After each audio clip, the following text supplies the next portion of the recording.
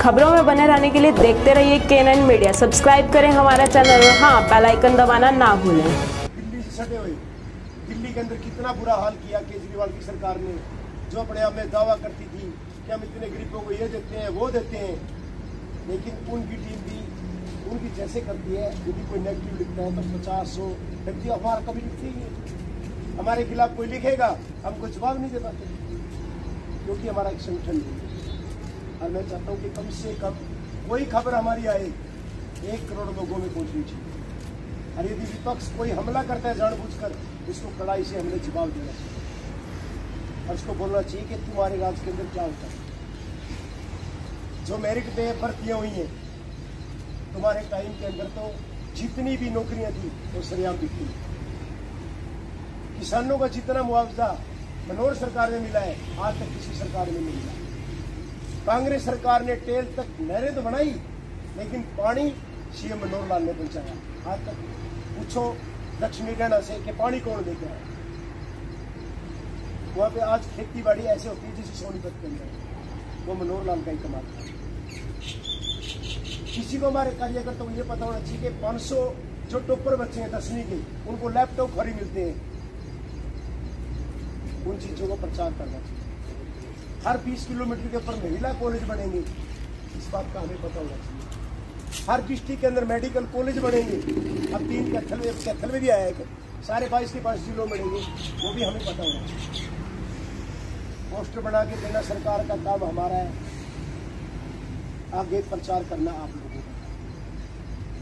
अब व्हाट्सएप के भी ग्रुप बनाएँगे जितने भी, एक तो सबसे पहले तो हम यूट्यूब चैनल है सी साहब का उसको सब्सक्राइब करेंगे। फेसबुक है, उससे आपने जुड़ना है। जो भाई टीवी चलाता है, उससे जुड़ना है। जो इंस्टाग्राम चलाता है, उससे जुड़ना है। जो जो चीज़ें हम चलाते हैं। और जब आप कड़ाई से जवाब देना शुरू कर दोगे, मैं गारंटी करता हूँ, जो नेगेटिव बोलता भी है, ये उसकी सोच है। क्योंकि विपक्ष का काम तो होता है भाई बोलना। वो तो हमारे उल्टा ही बोलेगा, हमारी तारीफ़ तो करेगा लेकिन आम कार्यकर्ताओं को, उनके भी कार्यकर्ता उनको जवाब देंगे। यदि हमारी भाजपा सरकार आई, और पहले कहते नहीं आई थी। भाई, लोग तो वही आए ना। चाहे कांग्रेस से आए, चाहे नल्लो से आए, जनता तो वही है। वही जनता दूसरी पार्टी में है, वही तीसरी पार्टी में है। कार्यकर्ता तो कमी होते हैं, आम जनता तो बहुत ज़्यादा है ना। अस्सी परसेंट तो आम जनता है। आम जनता को हमने अपनी तरफ़ कैसे रखना है, और सीएम साहब की कैसे उपलब्धियों को आगे लेके आना है, ये काम आज के बाद हमने शुरू करना है। और ये पहली शुरुआत रही से हमने तो मुरथल के डाबों से एक नई शुरुआत भी करी शिक्षा को लेकर। लेकिन क्या हुआ कि जो विपक्ष के लोग जिस प्रकार का प्रचार करते हैं। आज लॉकडाउन के समय में भी कोरोना जैसी जो विश्व की महामारी थी, उसमें भी जो हरियाणा सरकार ने बहुत अच्छे से काम किया है, उस काम की जानकारी नीचे तक जाए।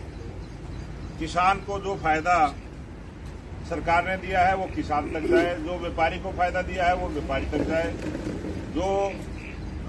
अपना प्रवासी मजदूर थे। फैक्ट्रियों में काम करते थे, उनके लिए बहुत सारे काम सरकार ने किए, वो उन तक भी जाए। तो जिस के लिए जो सरकार ने काम किया है, उस आदमी तक उसकी जानकारी जाए कि ये सरकार आपके लिए ये काम करती है।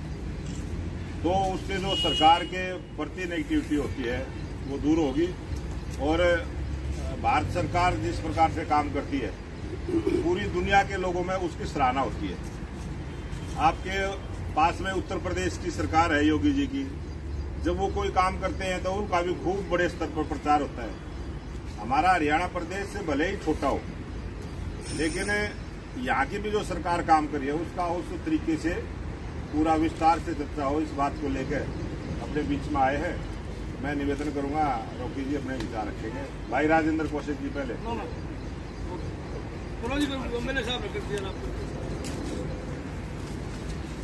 अपने मोहन गुरोली जी, विधायक जी, मेरे मित्र हैं और एमपी जी, क्योंकि रमेश कौशिक जी तो बिज़ी रहते समर्थ थे, ये हूँ।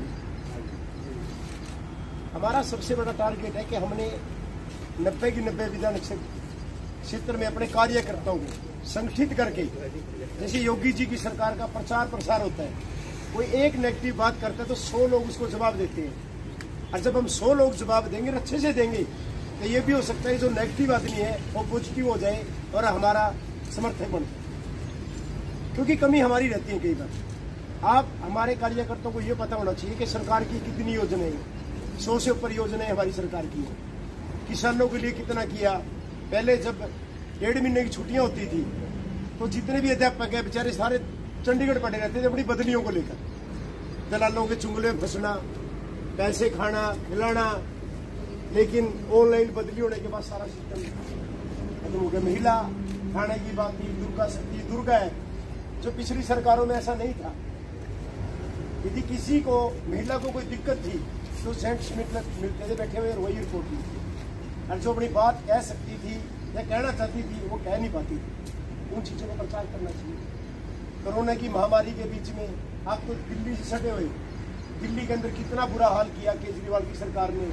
जो अपने आप में दावा करती थी कि हम इतने गरीबों को ये देते हैं, वो देते हैं, लेकिन उनकी टीम भी, उनकी जैसे करती है, यदि कोई नेगेटिव लिखता है तो पचास, सौ व्यक्ति हमारा कभी लिखते ही नहीं। हमारे खिलाफ कोई लिखेगा, हम कोई जवाब नहीं दे पाते।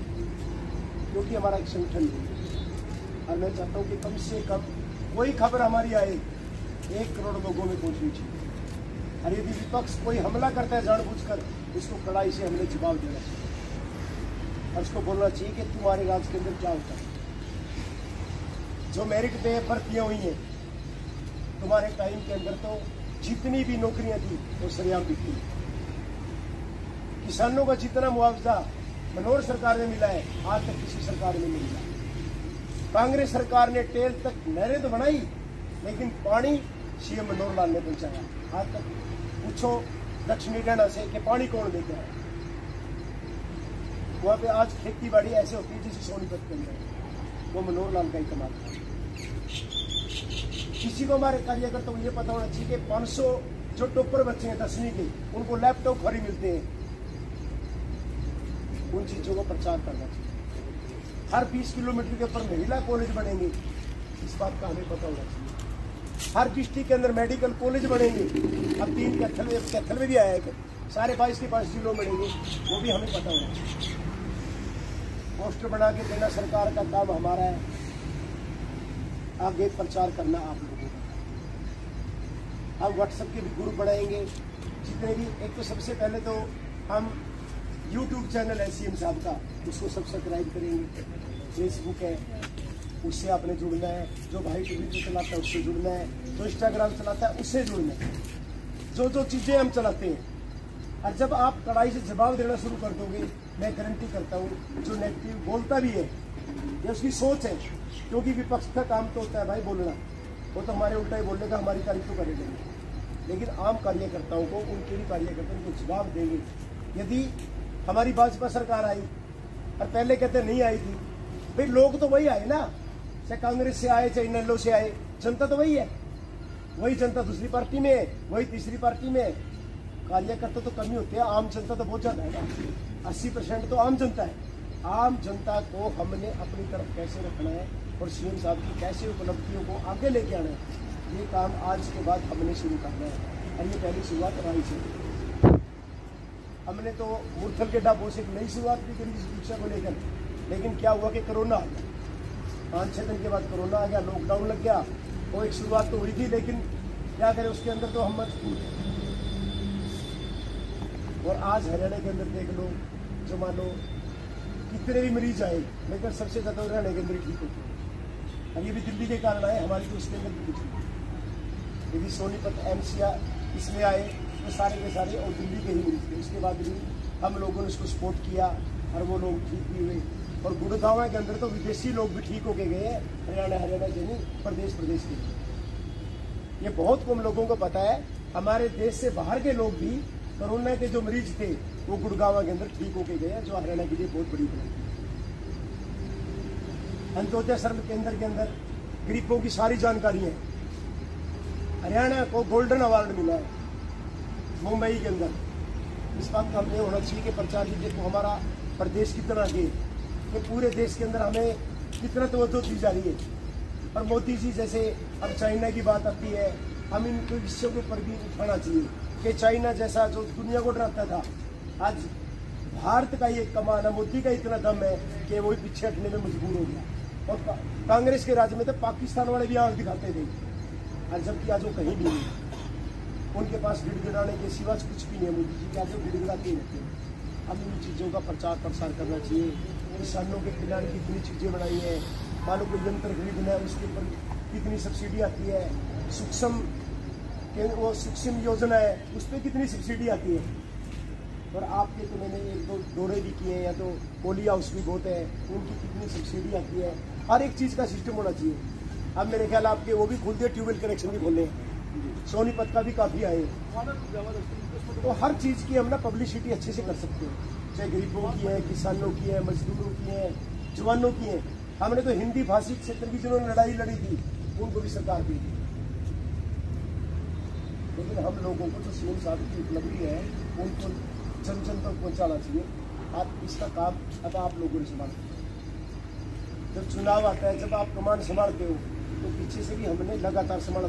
हम उस टाइम ज़्यादा मेहनत करने की ज़रूरत नहीं पड़ेगी बेटे। यदि हम लगातार मेहनत करेंगे तो मुझे लगता है कि हम उतना प्रचार कर पाएँगे कि अब की बार जैसे पचहत्तर पार का नारा था, यदि हम लोगों ने पहले से तैयारी की होती जैसे हमने शुरुआत की है हम पचहत्तर सीट आगे निकल जाएँगे लेकिन हमने लगातार प्रयास करना पड़ेगा।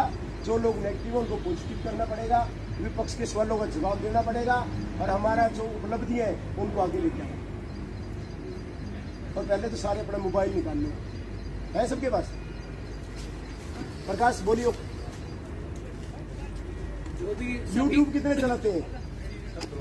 यूट्यूब खोल लो पहले। क्लास का बच्चा भी यूट्यूब का यूट्यूब खोल के ना उसमें मनोहर लाल लिखना है ना? मनोहर लाल उसके ऊपर करो।